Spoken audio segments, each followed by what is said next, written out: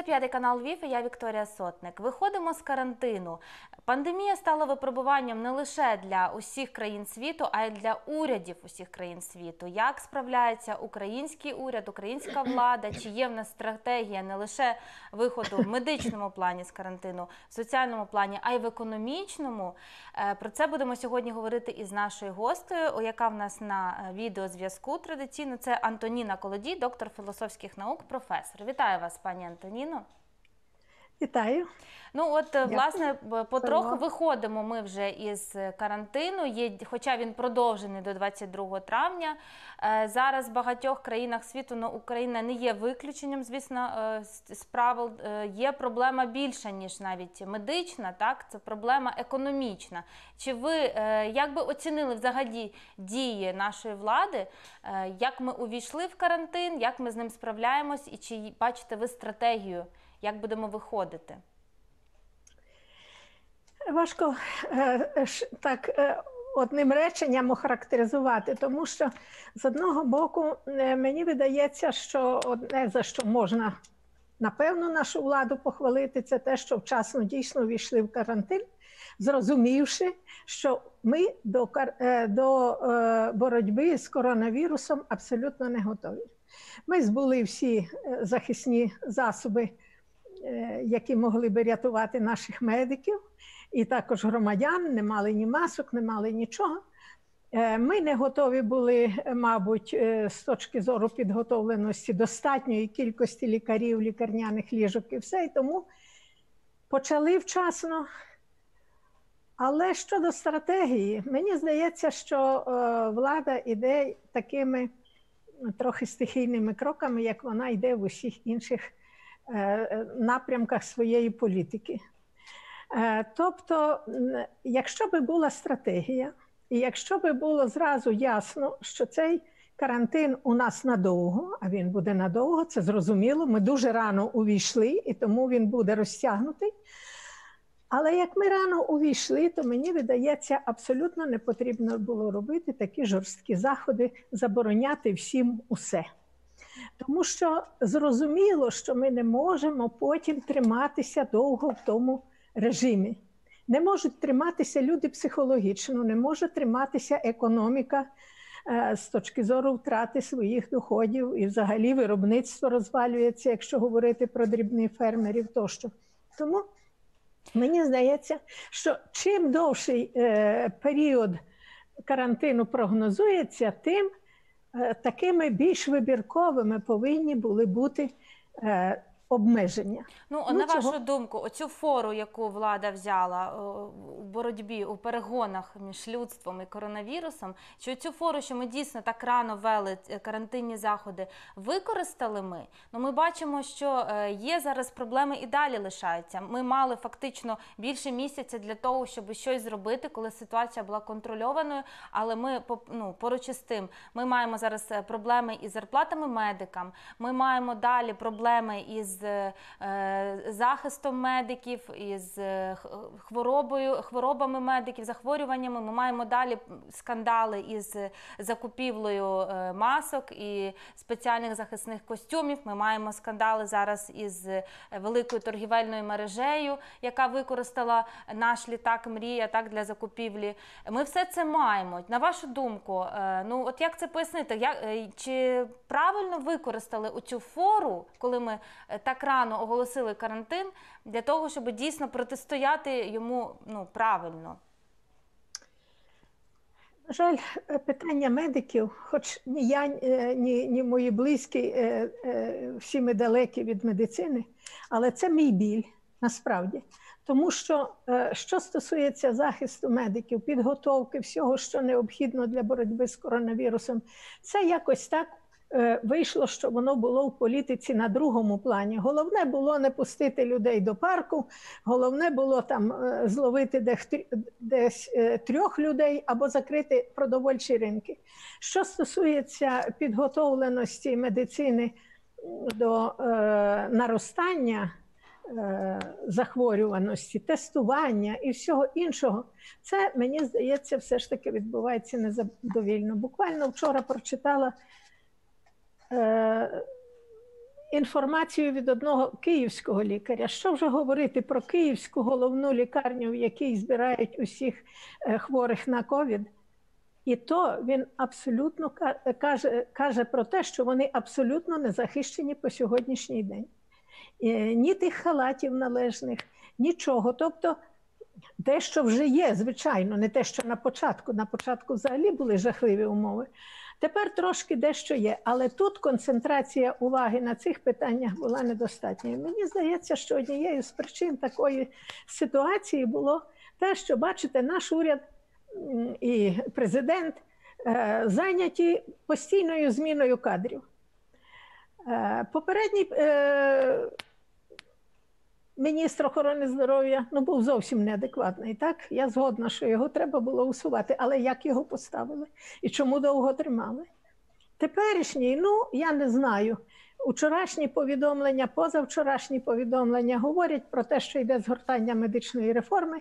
Вони думають про усілякі другорядні речі, про своїх людей, яким чином їх просунути, про тих е, видатних медиків, які радять нашому президентові, що та реформа, яку почала Уляна Супрун, нікуди не годиться, бо вони від того втратять свої е, деякі, може ліві, може праві, але доходи, які вони мали раніше. І коротше, е, увага сконцентрована не там, де треба. Тому е, з медициною тут проблеми залишаються. В нас і дуже великі, і з медиками особливо, яких, звичайно, всі ми, всім нам їх шкода, тому що вони справді на передовій перебувають зараз. Ну от е, ми дійсно мали можливість підготуватися. От цей весь час, коли е, не було Абсолютно, такої абсолютно. кількості хворих в Україні. Ну і в принципі кількість хворих вона пропорційно зростає до кількості тестів, які роблять в Україні. Раніше ну От, ще буквально е, декілька тижнів тому ми мали інформацію, що це е, в Україні роблять найменшу в Європі кількість тестів. Е, тепер, Так, коли кількість так. тестів так і є. збільшилась, відповідно, збільшилась кількість хворих. Ми карантин послаблюємо. Ну наскільки це взагалі адекватно до, до ситуації, е, такі от дії влади, на вашу думку? От оце ж ми не знали спочатку, що в нас є, до чого ми готові, до чого не готові, тому нібито перестрахувались, бо рано почали. А більше нічого для цього не зробили, щоб воно і далі проходило належним чином. Тому що е, якщо е, не робляться належні кроки щодо захисту е, медиків, щодо захисту людей, то е, а економіка тим більше не витримає, а люди психологічно е, витримати теж не можуть. І тому протести, і тому заяви, ось, наприклад, е, черкаського мера. Я е, розумію неоднозначне ставлення до його позиції, бо в принципі, якщо є загальнодержавні рішення, то місцева влада має їм підкорятися. Але з другого боку, ці загальнодержавні е, рішення вони повинні бути раціонально обґрунтовані, логічні. Вони повинні е, центральна влада має бути в постійному діалозі з місцевою владою і пояснювати, а чому так, а не інакше, якісь обмежувальні заходи проводяться. Цього не робиться. Неповага до окремої людини, до її почуттів. Е, Ну і неповага в даному випадку і до місцевої влади. Я, наприклад, ну просто бурхливо не сприйняла е, позицію е, Авакова, е, міністра е, Внутрішніх справ? внутрішніх справ. Ну от е, ви Хто правильно такий, е, зауважили. Хто він такий, щоб в такому тоні говорити із мером? Е, ви загралися і так далі. Це є абсолютно виконавча ділянка його діяльності. Він повинен е, мобілізувати поліцію в тих випадках, коли є порушення. Треба доказати, що є вони, а не те, що тільки ще наміри якісь проголосив мер. Як він уже його е, почав залякувати всіма засобами. Ну, от, Це е, пані Антоніно, ви, ви правильно зауважили, що от карантин він не тільки е, відкрив нам проблеми із нашою медициною, він відкрив проблеми з економікою, і в першу чергу він також відкрив проблеми, е, ну які ніхто не хотів на них звертати уваги, і суспільні проблеми. І власне спілкування влади е, центральної із е, органами самоврядування. Ми бачимо, що тут діалогу немає, хоча в нас реформа децентралізації е, на етапі завершення, вона все ніяк завершитись не може, і ну, на носі в нас вибори місцеві. Як на вашу думку, що показав цей карантин? Ну, от показав карантин, то що е, центральна влада дотримується тип, типової взагалі-то для популістів позиції. Тягни все на себе і показуй народу, що ти хороший, що від тебе все залежить, що ти все можеш, а всі інші під тобою і нічого не варті. Ну, ми знаємо, що е, на таких позиціях стояв якраз Янукович зі всіма своїми прибічниками. І чим це закінчилось, ми теж знаємо. Тому мені здається, що е, це абсолютно неправильна позиція, тим більше у сучасних умовах. Умовах надзвичайно складних, коли консультуватися треба і з експертами, і е, з місцевою владою, і все треба пояснювати. Якщо нема раціонального пояснення, то не треба вводити таких обмежень. Причому мені от здається, що ще влада плутає два поняття: рекомендації і заборони. Усе, що рекомендовано, вони сприймають як заборону. Насправді це не так, і це не, не даром суди стільки протоколів міліцейсь, поліцейських відкинули, бо там не було жодного складу е, порушення законодавства. Е, то, що рекомендується, треба роз'яснювати і апелювати до свідомості людей, до позиції е, місцевої влади, а не казати, що у нас сила, у нас влада, а ви маєте тільки е, під козирьок брати. Ось у цьому мені здається дуже велика помилка. Причому я тут хочу ще один момент додати: що ця влада при всьому тому і дуже слабка. Це всі політологи помічають. Високі рейтинги, які ще по інерції зберігаються у президента, це ще залишок минулих часів. А тепер справа йде до того, що ця влада слабне і з кожним днем через хаотичність призначень на різні посади, через відсутність стратегії, через те, що не радиться з людьми, які щось розуміються на реформах, і от виходить такий хаос. І виходить послаблення владних позицій. Тому тут тупати ногою і казати, чи стукання по столі, і казати, що ми вам покажемо. Я думаю, що це не для українців. Українці на таке не піддаються. Так вони навпаки чинять спротив, якщо хтось починає з ними так поводитись. Ну дивіться, ви зауважили, що слабне влада.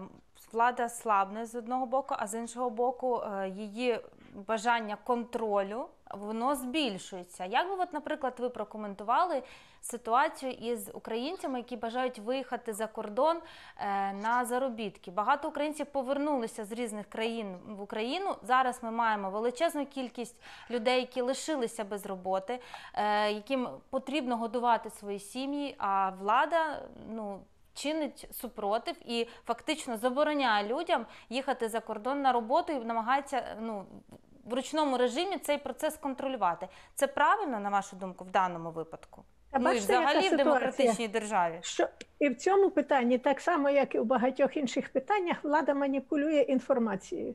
То вона говорить так, так, ми згодні, ми не будемо заперечувати так, то вона блокує цей процес. Тому, звичайно, тут е, подвійна провина влади. От обдурили медиків, усе суспільство про це говорить, і до влади ставиться з цього приводу негативно. Е, обдурять е, людей, які хочуть працювати за кордоном, що вони їх випустять, а насправді будуть не випускати. Упаде ще більше їхній рейтинг, але саме головне, що постраждає усе суспільство. От Тому я вважаю, що оця от намагання слабкої влади тягнути чим більше повноважень, можливостей е, е, на себе і використовувати силові методи впровадження своєї політики, незалежно від того, сприймається вона суспільством чи не сприймається, е, це абсолютно провальна політика. Провальна вона в умовах України. Їм це треба пам'ятати. Може би десь у якійсь іншій країні не хочу називати, щоб не образити інші країни. Так не може би вона пройшла. Але у нас така політика не пройде. Але звичайно, що від цього будуть проблеми в суспільстві і економічні, і соціальні, і психологічні. Ну, збідованим народом, ви ж самі розумієте, легше керувати. Ну чи розуміє, е, але і в людей терпець теж не залізне. Чим може завершитись така політика, якщо дійсно не, не буде розроблена стратегія, правильний е, взагалі вихід із цієї ситуації? Тому що ми наближаємось до економічної кризи, яка може восени розкритися в повному обсязі. Всі це розуміють, і економісти про це говорять. Ну не можна на це закривати очі. Чи бачите ви те, що і влада це розуміє, і якимось чином намагається вийти з цієї ситуації? Тому що ми бачимо, ну е, деякі моменти незрозумілі. То ринки забороняють відкрити. Тут, наприклад, люди виходять із протестами, фактично в е, ручному режимі одразу дозволяють. Тобто, ну Ви знаєте, справа в тому, що у деяких моментах це не про карантин йдеться, а взагалі політика е, президента Зеленського його команди е, базується на тому, що вони е, дають зрозуміти нібито суспільству і своїм виборцям, що вони з ними рахуються. Ага, якісь протести, щось вони врахували, там чи в земельній реформі, чи де б то не було. Але з другого боку, це все робити треба розумно. Це треба робити так, щоб і для економіки е, була користь, і е, для е, відношення людей до влади, і для їх психологічного здоров'я також, щоб була користь. на вашу думку, З тими ринками, то то просто, то то просто, от тут може я один такий момент хочу сказати. Е, Фактично застосовувався дуже довго застосовувався, там може й далі ще буде принцип колективної відповідальності. Хтось один у парку розпалив там вогнище, усім заборонити ходити до парку, так навіть одиночним е, якимсь е, мандрівникам, так не можна перейти через алею парку. Хтось порушив правила е, ведення торгівлі на ринку. Давайте заборонимо усі ринки, потім усі відкриємо. Та ну це, це от хаотична, спорадична політика, яка не має не тільки стратегії, а вона не має по суті і тактики такої розумної, продуманої, яка б надавалась до логічного пояснення. Без логічного пояснення, без раціонального підходу. Я думаю, що е, е, цю політику і, і цих е, владців теперішніх чекає сумна доля. Е, На вашу думку, от зараз ми бачимо е, розгуб... розгубленість певно влади, і взагалі така ситуація ну не- контрольована в Україні на даний момент. Ну складається таке враження по багатьох аспектах. Чи бачите ви зараз оцю українську еліту, яка могла би е, знайти вихід із цієї ситуації? Ну якесь бачення? Чи є вона зараз в Україні? Чи теж немає? Чи Я вона в зародковому якомусь стані і немає фактично кому радити і приймати рішення? Ви знаєте, кому радити в нас є, і завжди було, але нема кому слухати, то факт. Ну і потім зараз чисто політичний е, прошарок еліти. Він у такому, у такій е, розгубленості, в такому, у такій розпорошеності. І е, ну, я е, не можу показати пальцем, що ось ця політична сила здатна саме зараз взяти владу і поправити ситуацію. Тому мені здається, що ми все одно при всьому тому повинні тиснути на владу, домагатися свого, пояснювати. І під цим аспектом я навіть і е, позитивно оцінила і черкаського мера, який справді не побоявся, хоча е, думаю, що він дуже далеко не зайде з цим. І, і е, просто треба е, намагатися е, нав'язати діалог суспільства і влади. Раз влада сама не розуміє, що треба по суті говорити і правду говорити, і те, що пообіцяли зробити, а не перекидати потім, що а, ми гроші послали, невідомо кому, невідомо скільки, невідомо чому. Навіть учора прочитала якийсь урядовець, каже, та ми медикам виділили більше, ніж треба. Слухайте, звідки у нас може взятися грошей більше, ніж треба? Це просто смішно таке читати. От тому треба говорити реально. Не виділили з тих і тих причин, виділили в такому-то напрямі. е, Зараховано то на такі-то рахунки і так далі. Люди тепер грамотні розуміють усе. Пані Антоніно, ми от говоримо про владу, маємо буквально хвилину. Що е, як себе продемонстрував громадянин України, от е, під час пандемії в такі темні часи, на вашу думку? Ну, громадянин України, звичайно, е, намагаюсь сама бути таким громадянином, не завжди може вдається, повинен, звичайно, дотримуватись тих приписів, тих законів, тих розпоряджень е, уряду, які є. І мені здається, що українці загалом непогано виконують ці приписи. Але от що я спостерегла? Наприклад, під час великодних свят у, моєму районі абсолютно було тихо, ніде нікого. Як їм сказали, очевидно, тут ще допомогла позиція священників, як їм сказали, так вони себе поводили. Але через два чи три дні просто мурашник людей навколо. Е, Довго люди не можуть витримувати. Було таке відчуття, що люди вже настільки е, у них виникла така потреба, от е, десь бувати, спілкуватись і все. І так воно буде завжди. Е, Ну що ж, Але я вам, друга- е, я вам дякую. У нас, на жаль, час Ага, завершено. все. Це Ну. була Антоніна Колодій, доктор філософських наук, професор. Ми сьогодні аналізували е, дії влади під час пандемії, під час карантину в Україні. Наразі бачимо те, що немає цієї стратегії, дійсно стійкої стратегії, яка би нам дала розуміння, якою буде картина вже завтра в Україні, і я- якими ми вийдемо з цього карантину. Дякую за увагу. Це була Вікторія Сотник, п'ятий канал Львів. Не прощаюсь. Наступна тема буквально за декілька хвилин.